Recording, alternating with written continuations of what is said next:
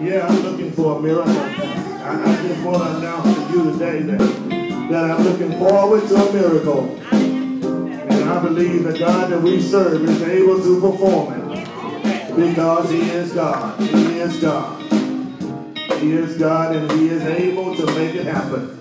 There may be someone in the room today that wondering if God can do it. Let me just report to you that God is able and he will do it. And he will get the glory. He will do it every time because he's God. He is God all by, all by himself. He is. He is the anointed one who is able to make it happen. Thank God that he is. He is. He is God. And it is that one that we've come to give glory and honor to today. Amen. Call your attention to Matthew chapter 3, verses 16 and 17. In the New Testament, the book is St. Matthew, the chapter is 16. The verses, the chapter is 3, the verses are 16 and 17. St. Matthew chapter 3, verses 16 and 17. When you found it, you will discover these words. When he had been baptized, Jesus came immediately from the water, and behold, the heavens opened to him. And he saw the Spirit of God descending like a dove and alighting upon him. And suddenly a voice came from heaven saying, This is my beloved Son, in whom I'm well pleased. Amen. I want to talk about God is well pleased. Yeah. God is well pleased. Throughout my life, I wanted to make sure that whatever I did, it pleased mama and daddy. From age zero to age 56 and 75 percent, I look forward to God being pleased with me and mama being pleased. I want to report to you that I have a bad understanding of young folk these days who can talk back to their mom and their dad. I don't understand how they can tell mom and dad where to get off, where to stop. I don't understand, and I, it may just be me, and it may not be you, but I don't understand how children can raise their voice at their mom and daddy and at grown folk. Because in my neighborhood, every person that was grown was treated just like mom and daddy. And if they heard of anything that I had said or done away from the house, when it came to the house, the house was in unrest. The house was bad off. There was noise in the house. They said things like, I'm whipping you because I love you. I'm doing this for your better good. And when they talked to us, it was a long, drawn out conversation. And uh, I would rather have a whipping than have the conversation. It was so disappointing to me that I had disappointed them because I wanted them to be pleased with me. Oftentimes, we want to please our friends. We want to please other people that mean us no good. But God needs to be pleased with you. The Hebrew writer tells us that it is impossible to please God if you have not faith. So one who has faith, one that walks with God, that's the one that pleases God. When I talk about faith, I'm talking about the word pistis in the Greek. It means to launch out into the deep without seeing what's there. Right. This word pistis is illustrated by one walking off a cliff and believing that he will be saved. Let me just stop right here and tell you, I didn't say go walk off a cliff. I'm saying when God has unctioned you and spoken to you to obey him for his righteousness, God will always protect and keep you even when you're going through dangers.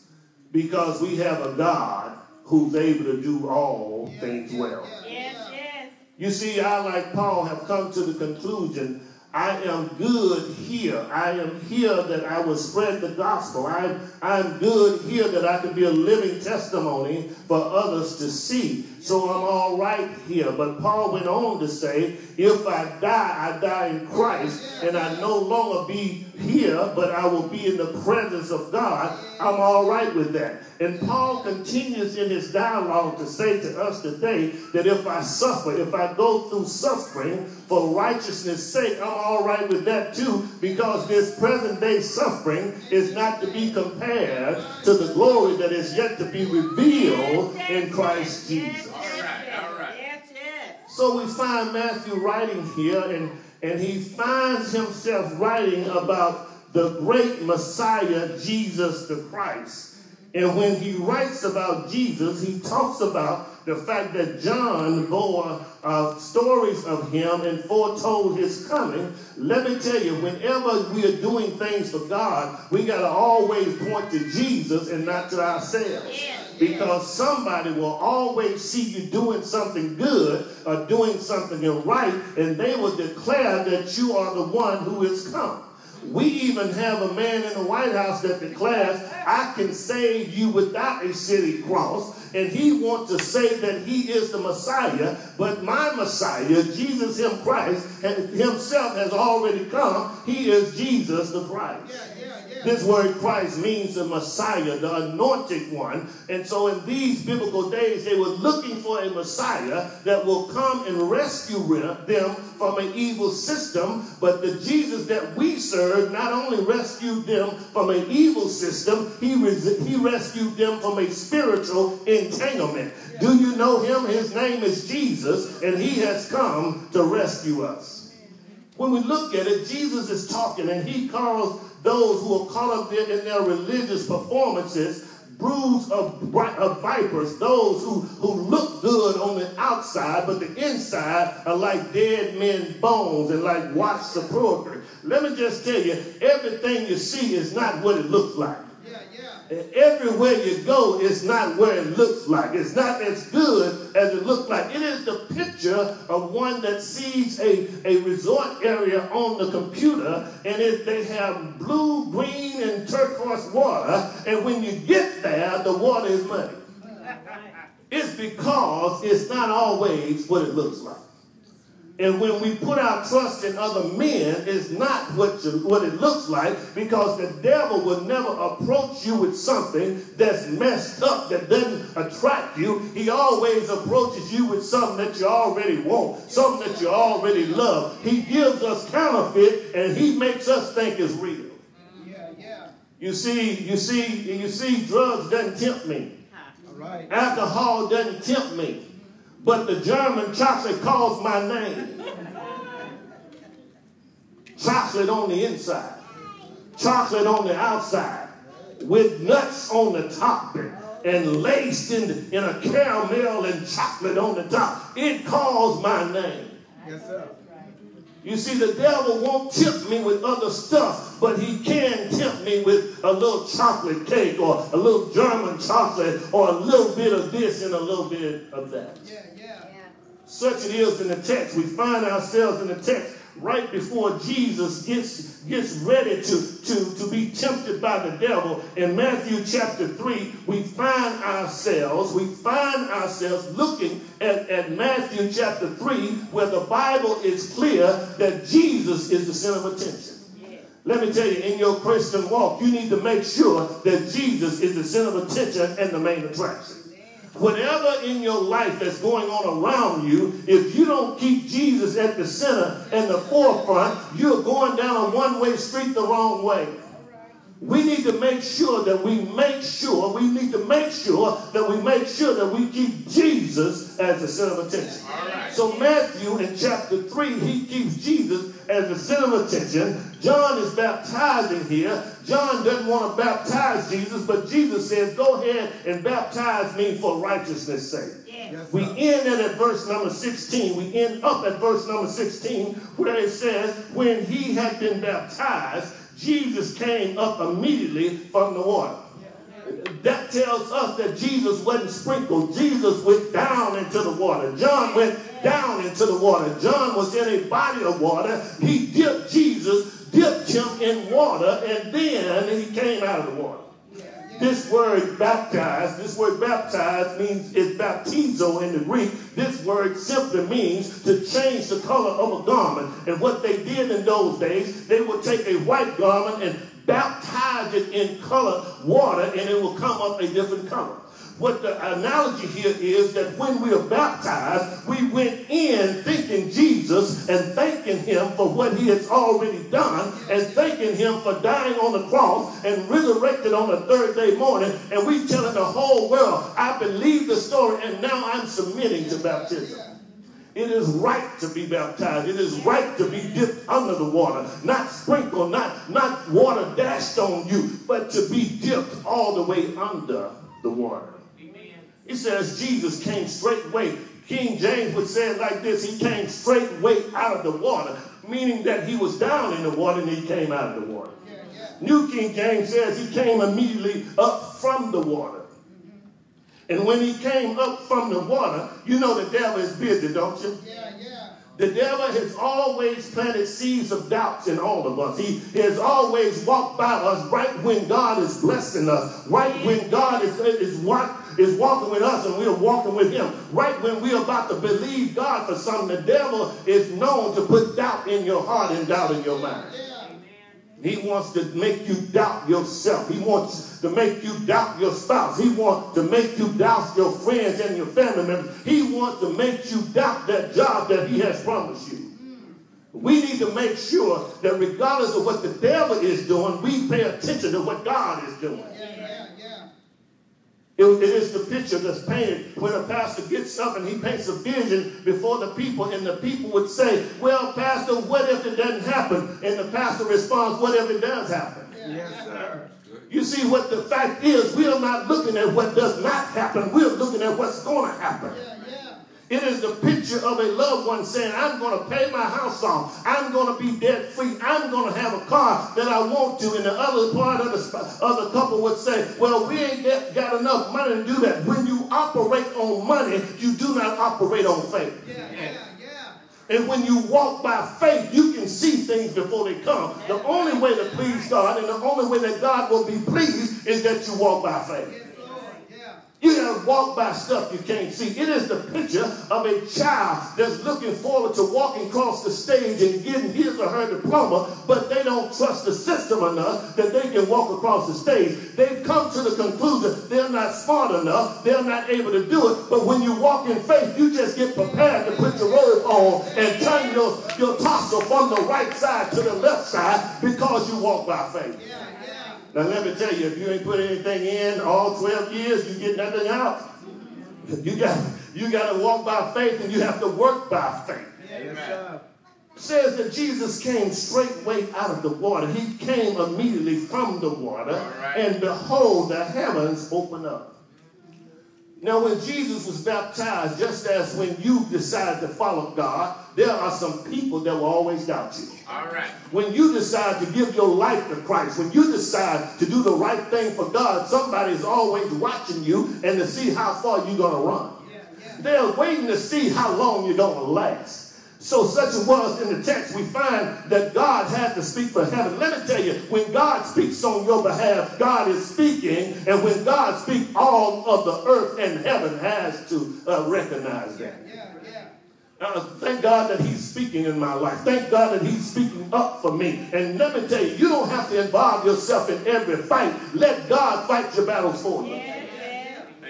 Thank God that when a Christian walks with him, when you walk with God, God is able to speak for you. God spoke from heaven. Yes, God is such an awesome God. He is omnipresent. He's everywhere at the same time. Every now and then he reveals himself. All right. And when he reveals himself, so many other miracles has already taken place that you have thought that there was just natural beings. You woke up this morning. That's a miracle in itself. You slept somewhere all night long or part of the night. That's a miracle in itself. You closed your eyes and you went to sleep. That's a miracle in itself. Simply because even though you close your eyes, you don't have to get sleep. Told you last week you can have a king, Cal king bed and never get a rest of sleep. Not give a mess of sleep at all because you have something to lay in or lay on. Yeah, yeah. Behold, the heavens were open to him. God will open up heaven for you if you just walk with him. God wants to be pleased with you. Yeah, yeah. God wants you to, to reach your goal. God wants you to, to do things that you always dreamed of doing. God wants you on one accord with him. You just got to walk with him. You have to have faith in him. You got to believe that he is God. Men that are blessed of God believe that he is God, not because of what he's done, but because of who he is. He is. He is God. So God speaks from heaven. The heavens open up. And there's a voice that comes from heaven. Jesus sees the dove shaped image. The Holy Spirit lights on him as if he is a devil. Remember, it's the Holy Spirit he, Yeah, yeah. not the Holy Spirit it.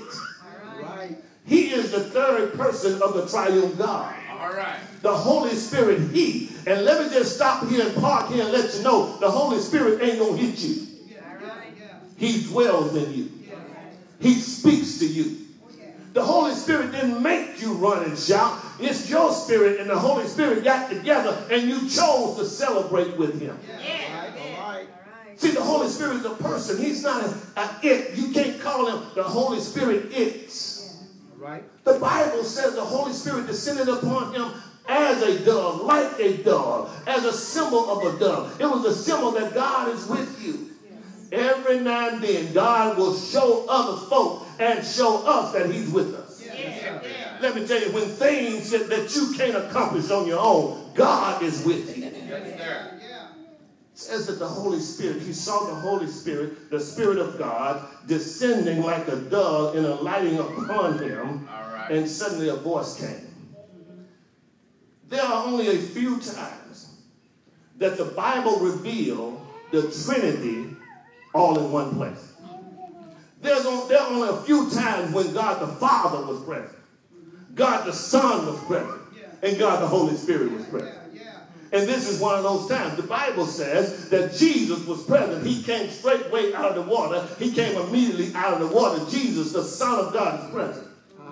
The, the Bible says that heaven opened up and the voice came from heaven. Who you think the voice was from? God is present. God began to speak. Let me tell you, when God speaks, God gets our attention. So God was there. And thirdly, the Holy Spirit, the third person of the triune God was present. He shows up there, and God says to us, as he said to men of those days, This is my beloved Son, in whom I'm well pleased. Right. He is the unique Son of God. When you look at John chapter 3, verse 16, it, it says, it says to us, For God so loved the world that he gave his only begotten son. You're right. This word begotten in the Greek means his only unique son, his only one of a kind son. There's no son like this son. All right. There's not one like this one. There, you can't look at Moses or Abraham and say they were like him because Abraham was a liar. Moses was a, was a murderer. And let me tell you, and then Noah got drunk. All right. There's not a man like him, regardless of, of what men do and regardless of what men say, there is none like the Son of God. He is God's only unique Son. He is God's only begotten Son. He is God's only one of a kind Son. Some presidents would walk in this room and men would stand up Well, I said some. Yes, sir. Some presidents would walk in the room and men would stand up. But if Jesus showed up, Yeah, yeah. All right. men, women, boys, and girls would have to bow down. You see, you honor other men, but you worship your God. Yes. Thank God for Jesus. Thank Him for being in our lives. He has given us the privilege of worshiping Him. It is a privilege to worship the Almighty God Himself. Oh, yeah. Men don't understand how He can be three in one. Well, some things we won't understand until we get there. Right. So we can't compare him to ice and say that he's water at one temperature, he's ice at another temperature, he- he's liquid at one temperature, he's steam at the other temperature. Those things don't compare to him because there's none like him. That's right. That's right. He is the triune God. He's God all by himself, and we don't understand it. And it doesn't matter how educated you get, you can't explain God. You just got to trust him and walk with him. He's God. And, if I would say I'm a father, I'm a husband, I'm a man, that doesn't compare to God. He's three persons at the same time. When we look at Jesus, he is he's just as much God as God and just as much man as man. Yes, and so Jesus is the only image that we see of God because he is the invisible image. Uh, he is the visible image of an invisible God. Yes, sir. And as we walk with him, we get to see a touch of God. No man has seen God and lived. Because the moment we look in the face of God, we are out of here. We give up the ghost. We are dead. But I'm looking forward to the day where I can see him for myself. You ought to look forward to the day. You got, you got to admit that, that mama told you about this Jesus. You got to admit that your friends talk about this Jesus. You need to tell God that, God, I know that they have said stuff about Jesus, but I want to see you for myself.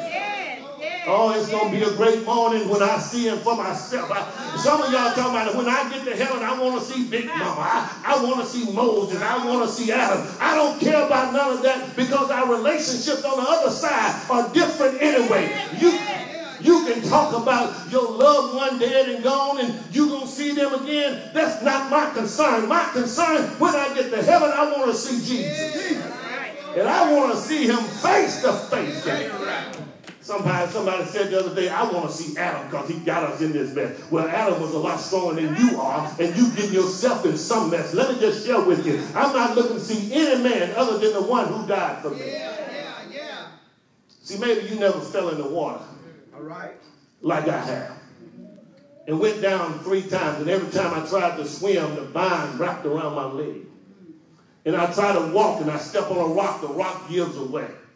Out in the middle of a, of a lake. And there was a guy that came up that didn't look like me. He handed me a post and he co- a pole and he pulled me out and he coaxed me out. He said, "Don't stand on that rock, step on this one." And what you do is don't don't try to swim right there. Wait till you get through the vines and then step on here. Let me just share with you: the people on the bank can see more than you can see because you're tangled up in your mess. The problem is we get tangled up in our mess. We get so tangled up in, in our mess until we can't see how, how filthy it is in the mess. But the folk on the outside can see. That's why they told you don't marry that boy. Don't get in touch with him. Leave him alone because they can see stuff that you will never see. Because they're not tied up in it. They're not tangled up in it. Yeah, yeah. That's why the senior saints would say, don't ride with it. Don't even go around it. Don't go around his house. Because when they pull you over, when they pull him over, they pull you over. Yeah, yeah. And these days, brothers and sisters, it ain't good to be pulled over in this climate. All right. These days, it's bad to be riding with the wrong joker in this climate. Because things can be made bad for you because of something somebody else said. We're in a terrible climate today. We got to stick with Jesus. That's why children ought to be packing out the church instead of packing out the club. Yeah, yeah, yeah. We're in a climate where we need Jesus and Jesus alone. It says, a voice came from heaven saying, This is my beloved Son, in whom I'm well. God is saying to us today, He wants to be pleased with us. First of all, He wants us to walk by faith. Yes. All right. Secondly, we want, he wants us to continue to trust him and what he says in his word. Sure, you're right. The Hebrew writer says, in times past, All he spoke to us through the prophets. All But now he's speaking to us through his son and through his word. All right. God deliver me from the preacher that will try to say it without talking about the word.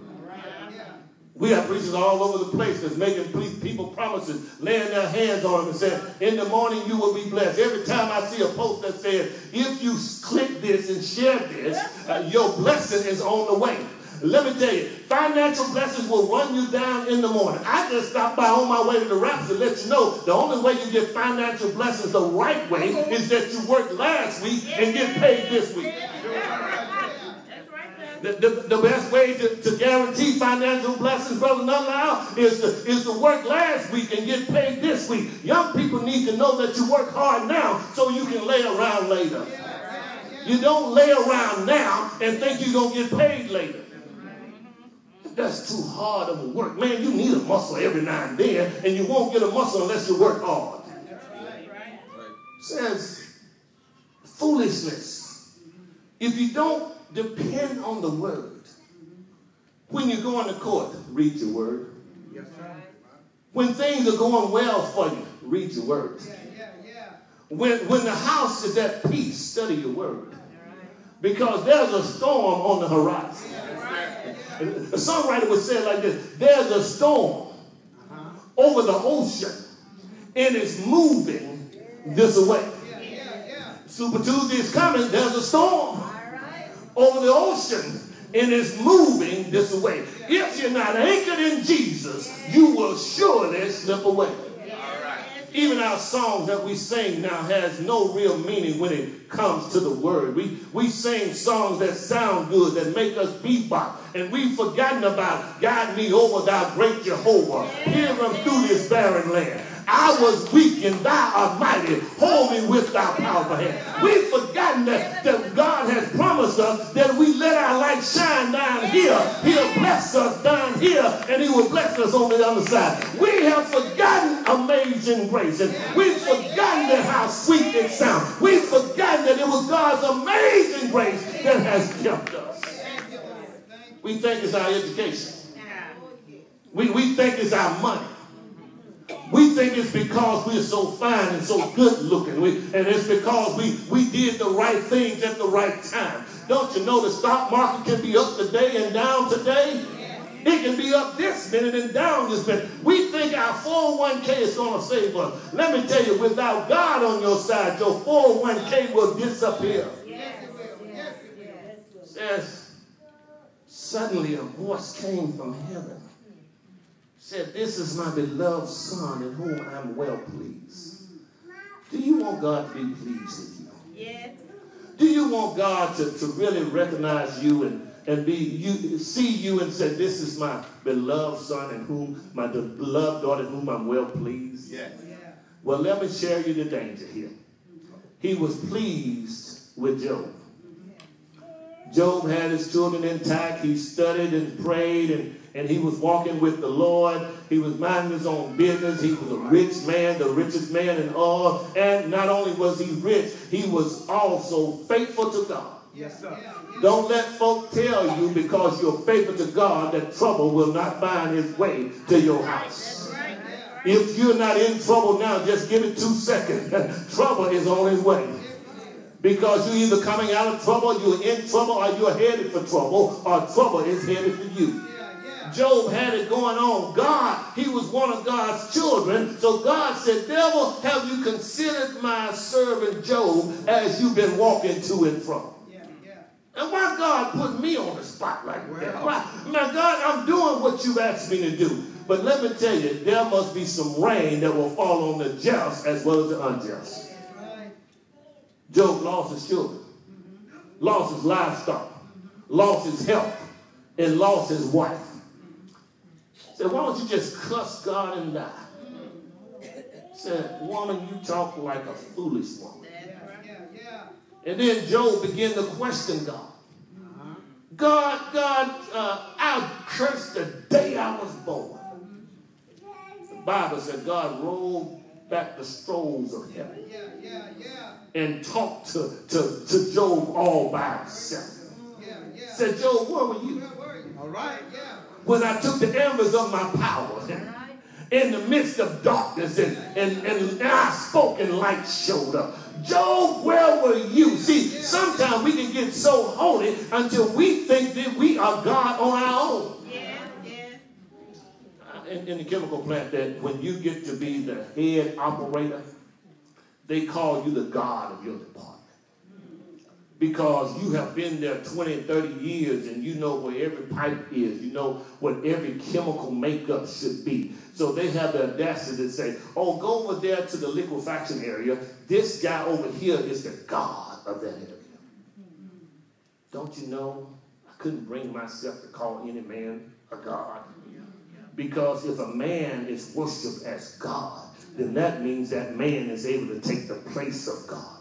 But let me tell you, when the explosion took place, they didn't know they no longer called on the man that they called God. They began to bow their heads and call on the Almighty God because God is the one who keeps us when explosions take place. God, God wants to be pleased with us. How can God be pleased with us? How we have to walk with Him. We have to trust Him. We have to have faith in faith in Him. And we have to make sure that God makes a way for us that we can't make for ourselves. Yeah. And we have to understand that very well. So we see we see Jesus, the Son of God. We see the Holy Spirit, the, the third person of the triune God. And, and we see Almighty God Himself talking on heaven. I close with this. If you want God to be pleased with you, Right. don't fight every battle. Yes, sir. Don't cuss every cusser. All right. Don't act every kind of way other folk act. Yeah, yeah. Just walk with God. That's right. And when you walk with God, God will fight your battles for you. Yes, he will. And God will do the things that you can't do on your own. Every time. Just be faithful to Him. Yes. I see people just in and out of goodness, in and out of righteousness, All right. in and out of godliness, in and out of the church, and they don't trust God. They trying to make a way. Don't you know if you wasn't able to make a way for the last five years, you ain't gonna be able to do it for the next five years until you submit unto the Almighty God. All right. Even Jesus himself, after John submitted to Jesus, Jesus submits to God. Yeah, yeah. And God is pleased. Yes, he. We can't get to a point where we find ourselves so satisfied with who we are. Thank you, Lord. Yeah. And we know that we, we got everything going for us. We got to trust God. Right. And only when we trust Him, Yeah, only when we walk with Him, will God be faithful to us as we are faithful to Him. Yeah. I say to you today, my family, whatever you do, be faithful to the Almighty God. Yes, sir. Don't let folk turn you off. Don't don't let, don't let situations turn you off. All right. Trust in God and stay faithful to Him and walk with Him. And the blessings you've been looking for, God will give you more than you even expected. All right. Thank you. Just trust Him. Yes, yes. Jesus trust Him. Over 2,000 years ago, Jesus Himself took a tree and trusted Him. They nailed Him. Yes, they did. He died All right. on a tree. Yes, he did. Yeah. They took Him off the tree. Yes. They laid him in a borrowed tomb. Jesus trusted him while he laid there. Jesus told them before he left here, in three days I will raise this temple up again. They thought they were talking, he was talking about the building, but he was talking about the temple. And in three days he got up with all power in heaven and earth his All right. All When it says to us that you can't put, Dr. King would say, you can't keep a good man down unless you get in the mud with him. You need to understand that Jesus will not only raise from the dead, he will not only rise from the dead, he will raise you from the dead. Yes, he will. A lot of us are in dead situations, That's right. but God want to be pleased with you. All right. Will you let God be pleased with you? On now, Will you God. trust Him? On, Will you commit to Him? Will you acknowledge Him? Will you walk with Him? He's God all by Himself. The door of the church is open. Yes, The invitation is extended. Will you come to Jesus just as you are? The door is open. Will you come? The door is open. Will you come to Jesus? If, if you're here and you don't, you haven't trusted Jesus, you you have not you have not submitted yourself to Him, believing in His Son, Jesus the Christ. This is your moment. The door is open. Will you come? Come to Jesus just as you are. The door is open. If you're here today and you struggle with commitment, this is your moment to recommit to Him, to rededicate to Him. The door is open. Will you come? I want God to be pleased with me. I want Him to be well pleased with me. Will you trust Him? The door is open. He will save you. Just. The door is open. He will save you. He will save you.